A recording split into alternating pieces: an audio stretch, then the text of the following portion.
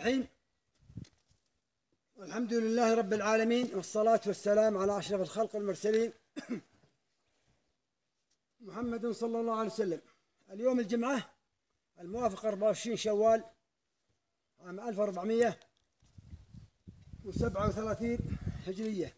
الموافق 29 جولاي 2016 طبعا الام بي سي زارونا قبل 10 أيام تقريبا وذكرنا استخدامنا على الطاقة الشمسية لعدة أشياء وذكروها كذلك. لكن ما كان في وقت يشوفونها.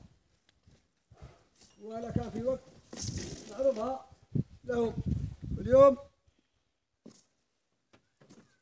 سنعرضها على الطبيعة. طبعا عندنا البطاريات هنا. بطاريات هنا. آه، ناخذ من الألواح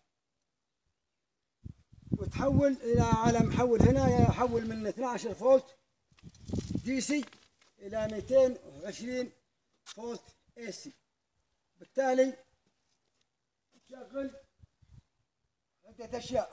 نبدأ بالكمبرسر هنا. عندنا الكمبرسر هنا نشغله طبعا على الطاقة الشمسية.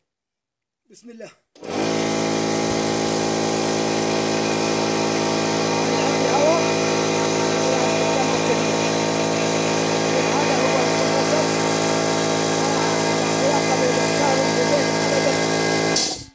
معزولين عن كهرباء البيت تماما. نستمر هنا لنشغل الغسالة. طبعا الغسالة ناخذ شوية صابون هنا. وبعدين نغسل بسم الله.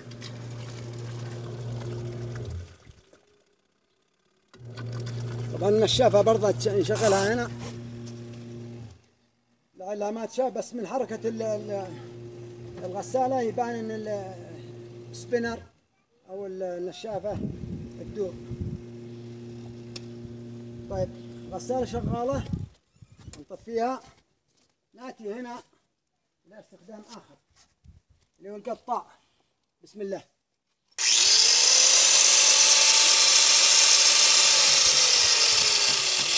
هذا القطاع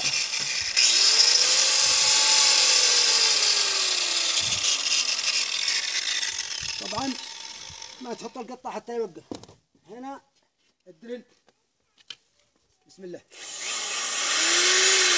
طبعا كهرباء شوية قوية ترى. يخرج منها كهرباء. هي 230 تقريبا أكبر شوية. آه هذا الدريل. عندنا اللي نشر عليه الخشب. ناتي لنشر الخشب. بسم الله. نحاول ننشر شوية من الخشبة هذه. بسم الله.